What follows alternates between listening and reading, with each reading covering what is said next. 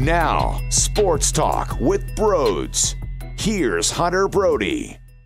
Hey everyone, before we get started, make sure you smash that thumbs up button. And if you're new to the channel, hit the subscribe button. I greatly appreciate all the new people that come and hang out after every Philadelphia sporting event to discuss what happened in the action. Lastly, Every Wednesday on my Twitter, at Brodes81, there is a pinned tweet at the top of my profile. I do a hump day giveaway. You can win something for free. This week, it's an Eagles jersey, DeVonta Smith. You will not want to miss it. Although I'm uploading this Tuesday night, Wednesday morning, so there will be a new giveaway very soon. But make sure you enter to win. It's so simple. The rules are at the top of my Twitter page at Brodes81. All right? All right. All right. All right. All right. Make sure you enjoy the pod.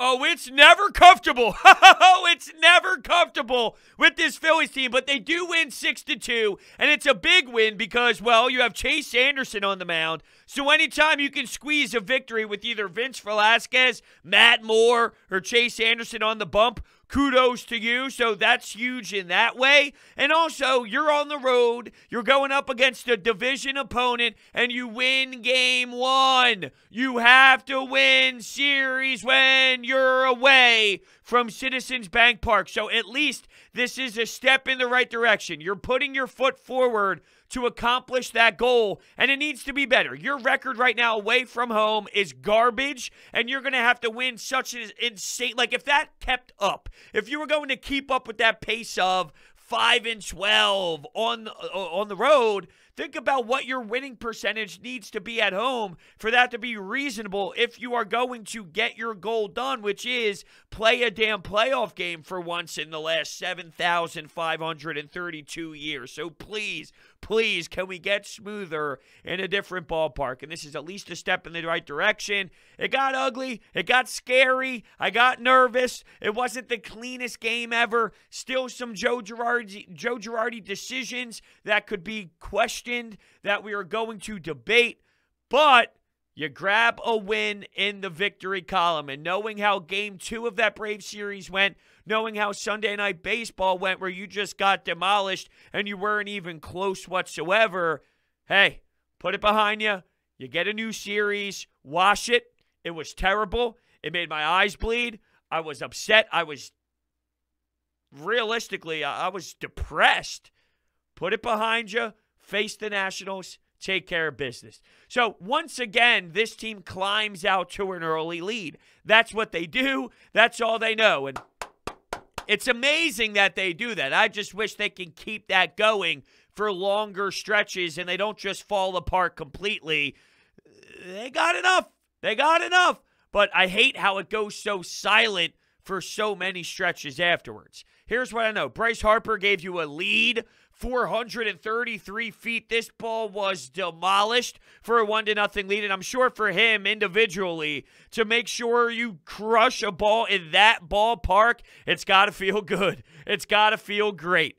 I'd be scared to fight, face Bryce Harper every single time he's there because you know he's just wired differently and he's just prepared to go off. I'm sure he's got a little bit more fire lit under his ass when he's in that ballpark. So he sets the tone nice and early. Then you play some small ball. I was a little stunned to see small ball. They don't ask how, they ask how many, and the answer is three three runs in the first four innings. So in the third inning, Harper walks, Brad Miller, Rhys Hoskins. Bang, bang, bang, moving around the bases the old fashioned way. How about in the fourth? Odubel Herrera, who had a great day on the base paths. He had two hits. He was on base four times. Odubel Herrera was awesome. And you can chalk up the late inning, eighth inning addition to the insurance that you had, which came up big because Hector Neris was dicing around the plate. He thought he had the strikeout to end the game. He didn't have the strikeout. Maybe he was drawing back and forth with the Nats dugout because he did a mini celebration thinking the blue would ring him up to end the game. Odubel Herrera started to get on the right track of the Odubel Herrera that we need to see. Someone is finally taking advantage of all of the miserable play in center field. he's been a huge jump in this lineup. That's for damn sure. But anyway, going back to that fourth inning where they scored some runs, Odubel Herrera, Anderson doing his job, which isn't always easy from your pitching role at the plate to do his job, and Andrew McCutchen knocks him in. So you had the power followed up by the small ball, and you're up to a 3 nothing lead. Now, you knew that it was going to go downhill at some point. It's not a matter of if, it's a matter of when, and not only just when, but how. Because it could be the weirdest ways, it could be the most gut wrenching ways, it could be the most basic ways. You pick and choose. On any given night, it's one of those. But somehow, when and if was absolutely in play when it comes to this team. What kills me is that sixth inning specifically the Phillies half. Bases loaded, no outs. Chase Anderson on his way up to the plate. Now he was pitching fine to this point. His his stat line finished, and some of this is with what happens after the sixth inning, but his stat line finished of five innings, three hits, two earned runs, one walk, five strikeouts, 85 pitches. He actually had a disgusting, filthy changeup just coming in the the trajectory of this pitch and the movement on this pitch coming inside to a right handed hitter, swinging through it, no business making contact at all. Swung right through it. I mean, it was filthy. He had some nice changeup action. He also, though, early on, first inning, could have got demolished. Cutter that didn't cut, left middle in.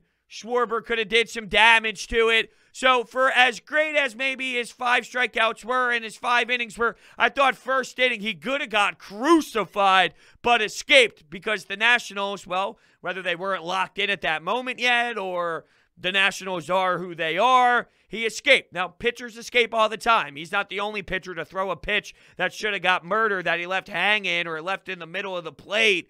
He's not the only one where a batter either foul tips it or swings through it or doesn't swing at all. That happens all the time. So, you know, it, it does happen. But Chase Anderson was fine to that point. Zero outs, trying to force him into the sixth inning. I just thought Joe should have recognized with Alec Bohm not in the lineup and Brad Miller playing, who Brad Miller made some really stellar defensive plays, charging the ball confidently, throwing on the run off a big hop. I was pretty impressed with what Brad Miller did defensively at third base, but knowing you could bring up Alec Bohm, and I'm not telling you that Alec Bohm is some sensational player right now because coming into the game, he was hitting low 200s for a reason. He came up huge in the eighth, so he can come up big at any point of any game. That is Alec Bohm. He hasn't been hot to this point. He's been putting good bat on ball, and he's been squaring up the ball. You got bases loaded, though. You got to put your guy in a prime position to succeed. Why are we forcing a pitcher up to the dish and Chase Anderson? It's not your star. It's not your number one guy. It's your fifth starter. He gave you your five. Let's move on. Now you're forcing it. He doesn't record outs in the sixth inning. So, was Joe's philosophy? Here's a chance to do that. Here, we finally have Chase Anderson throwing the ball well, so maybe we can build his confidence by having him record it out in the sixth. But I look at it as tack on some runs. Now, here's the opposite side to it. Andrew McCutchen struck out looking on a pitch that you got to be able to execute, dude. Top of your lineup is up. So let's say Chase Anderson gets out like he did. He flied out to left field. Okay. You have your top of the lineup up, bases loaded, one out. Andrew McCutchen cannot strike out looking. Jean Segura, he put together a 14 pitch at bat where he started out looking at two pitches right down the middle to fall back 0 2. I give him praise for battling for 14 pitches, and there were so many at bats that went 11 deep. Schwarber had one. Didi had an aggressive one as well. Trea Turner had an awesome battle with the pitcher as well. You had multiple long, lengthy at bats, which to me I love. That's the duel of who's going to make that mistake, who's going to win that battle. I mean, it is a dogfight mentally. Are you going to guess the right pitch? Are you going to chase the wrong pitch? Who's going to win? Jean Segura, he squared up the ball nicely to center field, but it was right to the center fielder. Your top of the lineup came up with bases loaded, two outs. You score zero runs. In the bottom half of the sixth, you trot Chase Anderson back out there, and Trea Turner makes you pay because he hits a home run. Kyle Schwarber ends up getting an RBI, and it's three to two. So your offense did not get it done. I'm not putting all the blame. I am not. I am not putting all the blame on Joe because I blame players more than I blame the manager. Here's what I know your top of the lineup needs to knock in runs there. So it's it doesn't come down to one at bat. It doesn't. It does not come down to one at bat. There's so much that happens in a game. Chase Anderson, how about you pitch better to Trea Turner? You could do better than that. I know you can. I know that you have more in you in that sixth inning than you provided. You got to be stronger. You got to make better pitches. Come on. I, I know that you could have thrown better to Schwarber. I know you could have thrown better to Trea Turner. That's on you as well. Your manager gave you the benefit of the doubt. Your manager rocked with you. Pay him back. That goes on the player. Pay him back. I saw you do it for five. What happened? What changed? Make the proper adjustment. Make the proper throws. Deliver your pitches better. Come on. So now it's a 3 2 ball game after the sixth. Here's what I liked. In the seventh, though, the Phillies did bounce back with having a grade A chance to produce more runs. JT Real Realmuto walks, Miller walks. So once again, Rhys Hoskins, Didi Gregorius. Guys that you should be able to rely on in that batter's box to come up with a timely hit, to produce when you need to, to square a baseball up through the zone and put together a beautiful swing. Well, they both get out, and you had first and second with one out in that inning. Oh, come on. Runners in scoring positions, men left stranded. You're only going to get so many before, guess what? Here comes the punch from the other team. How about this in the seventh? Bottom half of the seventh, right? You don't execute.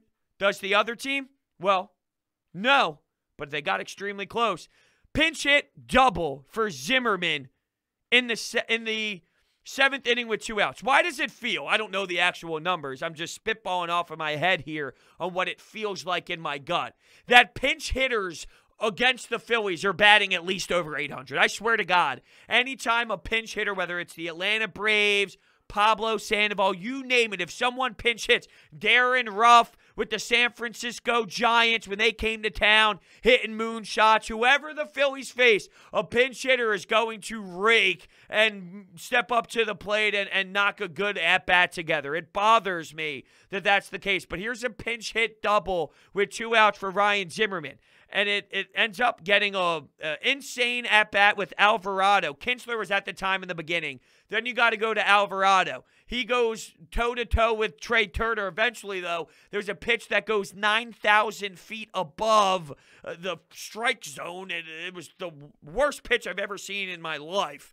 You talk about, and it's funny, I saw it was either Jayson Stark or Ken Rosenthal of The Athletic, and they were talking about how nowadays, when you look at how these pitchers are throwing, yeah, they're throwing with velocity, but you talk about location and precise and poise and being where they need to be in the strike zone, good luck. You are just not getting command. It's all about the heat, it's all about the intensity, and I can see why there's value in both. Don't get me wrong. I mean, yeah, I might sound silly. Like, what do you mean? You don't value command? No, of course I value command. But to say the only thing that matters is command is no, you got to find the, the mix. You got to find the guy that can give you 97, 98, 99, but can still work around the strike zone. Alvarado's all over the map, and he's useful. Don't get me wrong, he's useful with this. He can get you big outs, he can get out of big moments.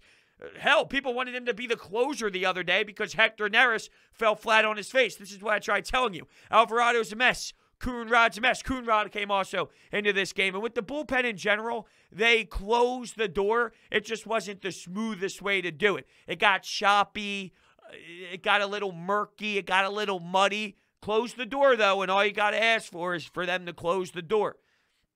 These guys are going to be up and down, up and down, and just know that they're going to be toying with your emotions every single outing. Alvarado, though, ends up walking Soto in four after the pinch hit with Kintzler on the mound with the pinch hit double. The Alvarado at bat with Turner.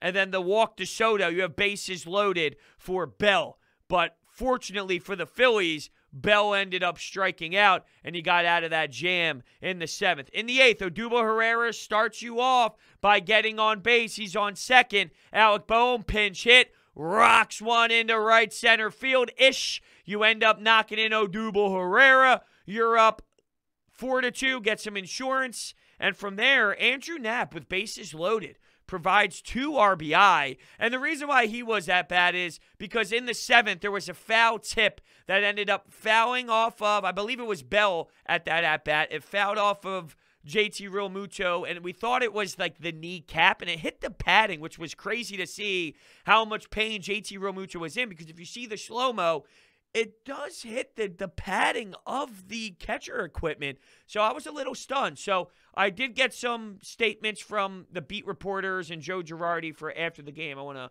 uh, blow it up here so I can read because my one monitor is a little farther away. Okay, can we? How about we? Oh, geez, way too big. Okay, so this is courtesy of Jim Salisbury of NBC Sports Philadelphia. Realmuto was not hit on the kneecap, which is a good thing. Ball hit muscle. Girardi does not believe he will have to go on the injured list, but Realmuto will be sore for a day or two. So I'm I'm uh, assuming we are going to see Andrew Knapp. And then this is also a little bit after the game as well. JT Realmuto has a muscle contusion, a bruise essentially. Joe Girardi doesn't think it will be an LL an IL stint, but does not think Realmuto but does think Realmuto will be sore tomorrow. So essentially, JT's probably going to miss some time with some sort of soreness, some sort of bruising, and Andrew Knapp will have to step in. I got to give credit to Andrew Knapp for what he has done to this point. You know, there was a time, and here's the stats for what he did previously under the other regime here with Matt Klentak and Gabe Kapler at the helm.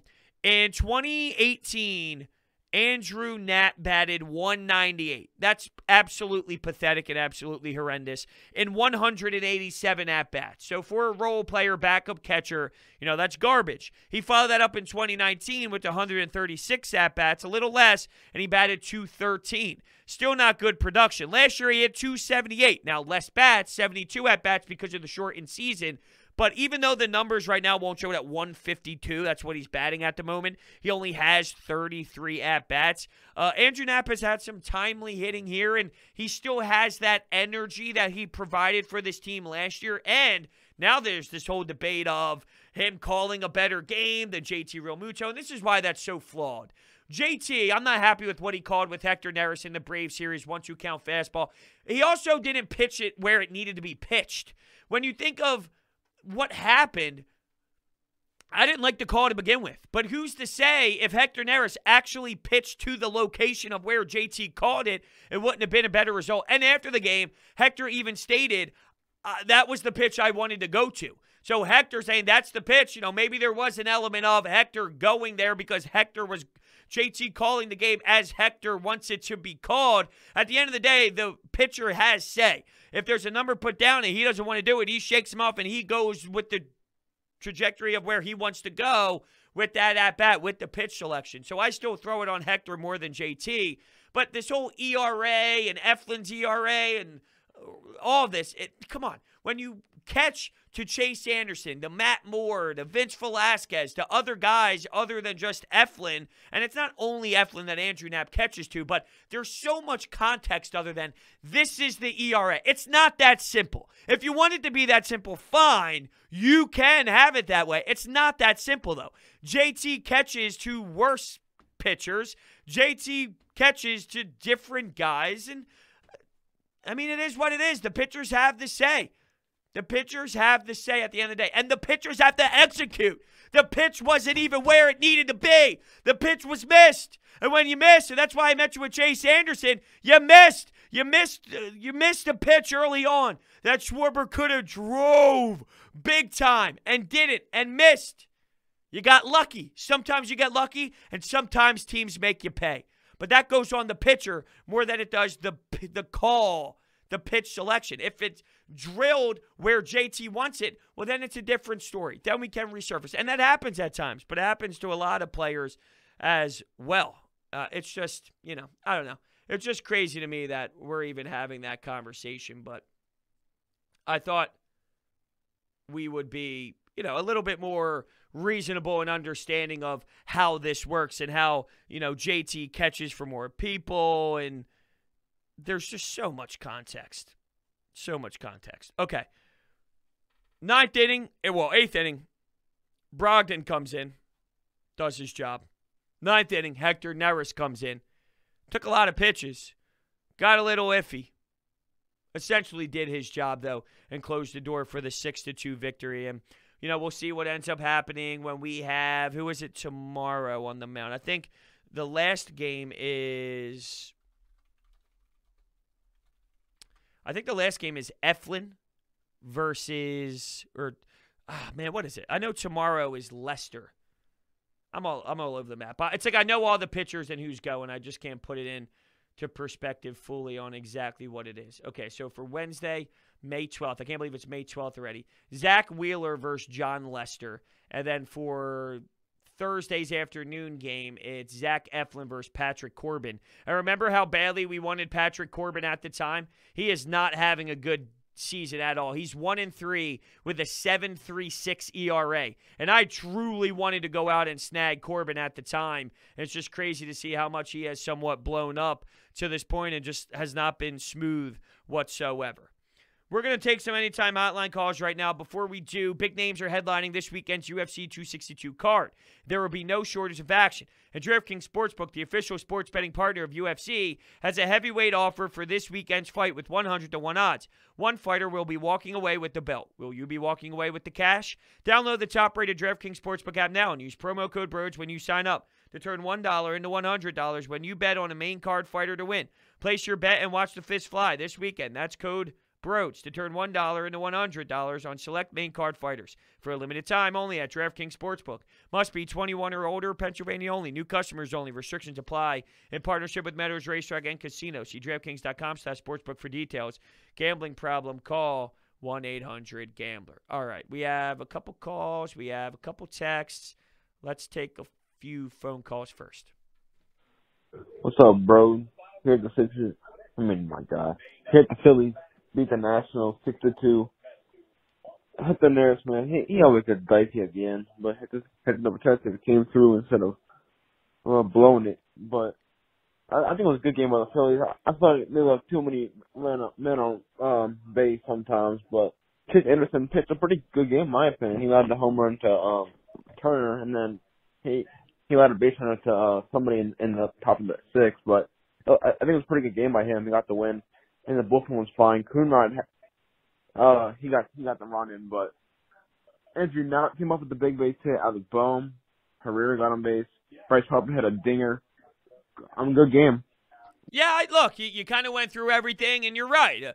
This team won a game with Chase Anderson. I thought Chase Anderson was the best we've seen in the five inning stint. I just wish he could have supported his manager there. The manager put a lot of trust in you, took a bullet for you, allowed you to go up to bat. And there's been many moments this year where the team was struggling to score runs, and Joe Girardi would pinch hit for Chase Anderson very early just to try and throw somebody up to the dish, whether it was Brad Miller. They're just trying to look for an offensive spark. I just think it's weird that in games past, they elected to do that when it wasn't bases loaded with zero outs, and it was more just really nothing there or just a minor opportunity. Here, this is massive. This is let's blow the game wide open. This is let's cruise to an easy victory. This is let's kick them in the teeth. And you allow Chase Anderson to go up there, and it's because of how well he was pitching. So we acknowledge that. We recognize that. You were very strong to that point.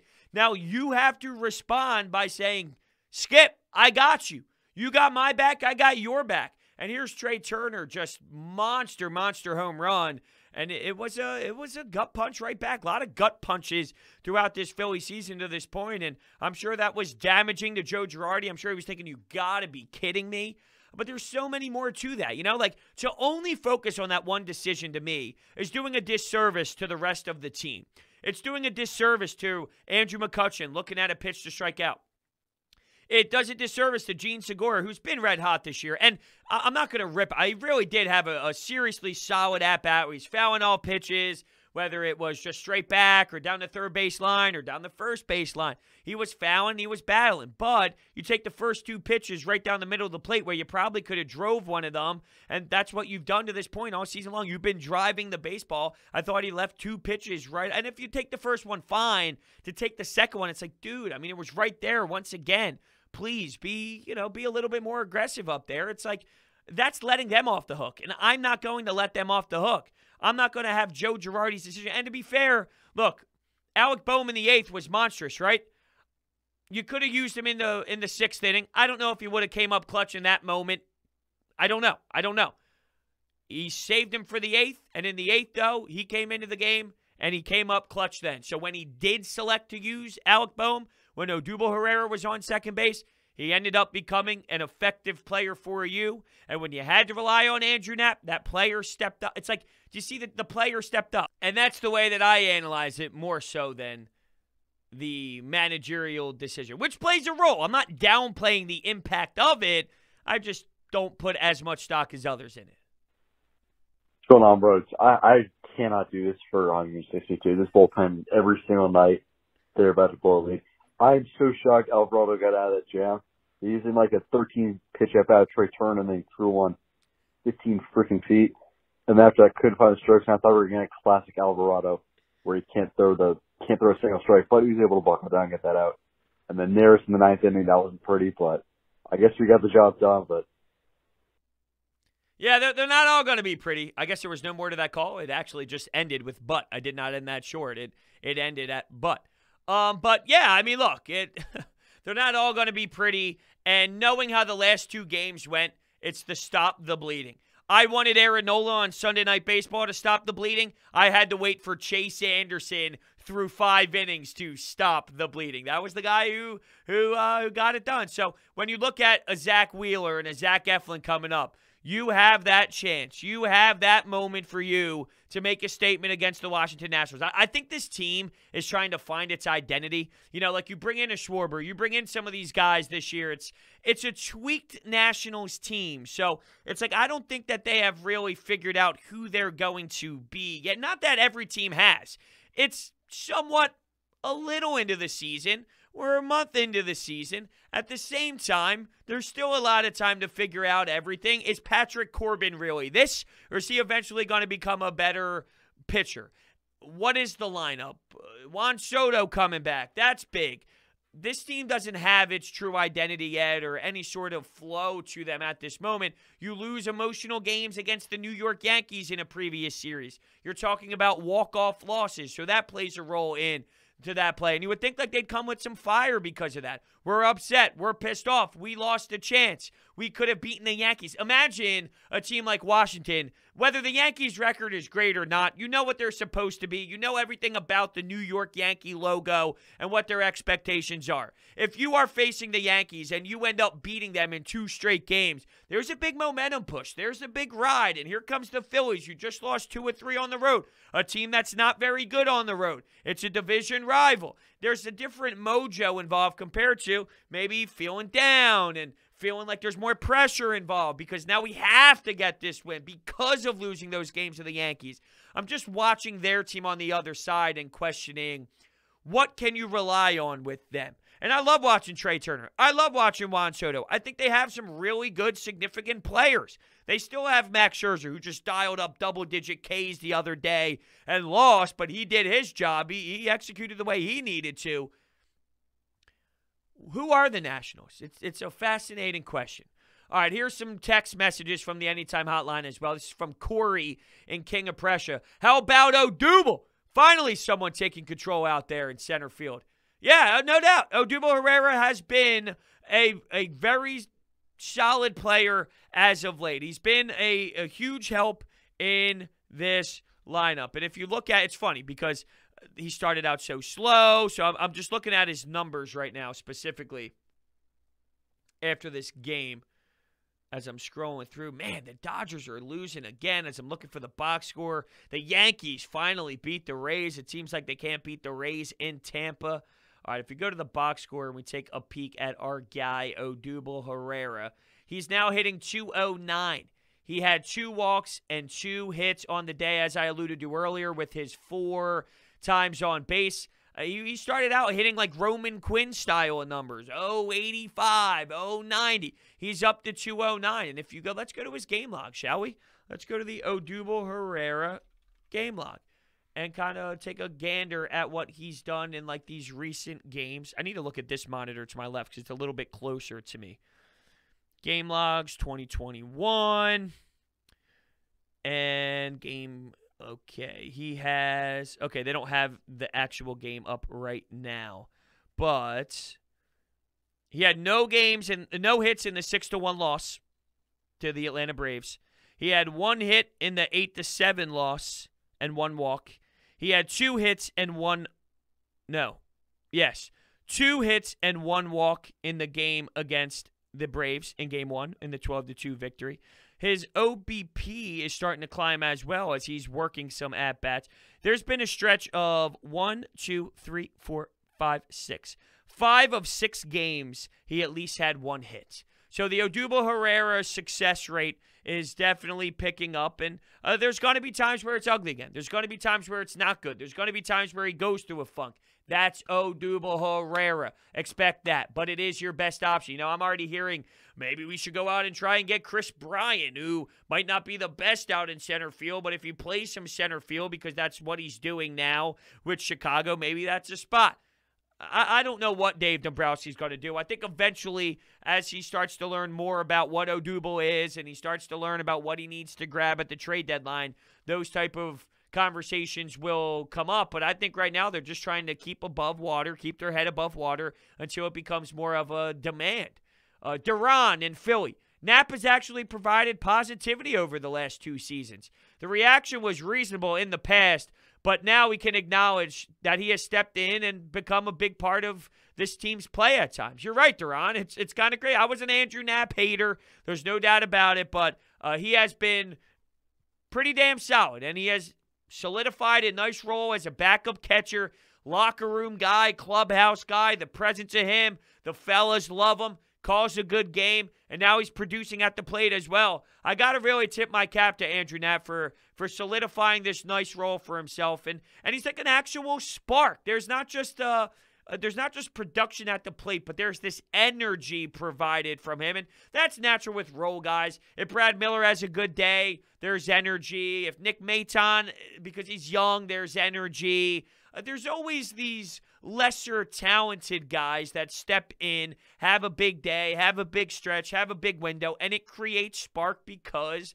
of they're not naturally the Bryce Harper, the JT, the you know, the bigger named guy. So it naturally creates this fire for the team. And Andrew Knapp does do a good job at doing that. And it's it's been consistent over the 60 game season last year and to start this season. Even though the batting average won't say it, the timely hits from Andrew Knapp, it's still there. Last year still rubbing off, even though the batting average specifically isn't saying it. I mentioned Odubel Herrera and his OBP climbing up a bit as he's like walking a bit more and just getting on base. The Rhys Hoskins thing, and I'm going to expand on this more with Rhys Hoskins, that's for sure. The amount of walks that he had last year that we hated, it was valid for us to not be happy with that. Now it's the it's the complete opposite. It's the complete opposite out of Rhys, where his OBP is a, atrocious. He's not walking at all. He's striking out too much. You got to find that mix. You went from walking too much and not getting enough power to striking out too much, having decent numbers, going through an ugly stretch, and not walking at all. Uh, you you got to find that balance, Rhys. And I'm not saying it's easy, but now you're starting to look lost. But the swing is the same, and uh, I don't know. I'm I'm I'm really torn with my emotional mental battle of figuring out Rhys Hoskins. I'll be honest, because it's like extremes all over the place. So. With that being said, thank you all so much for listening. Game tomorrow. Can't wait. I will see you next time.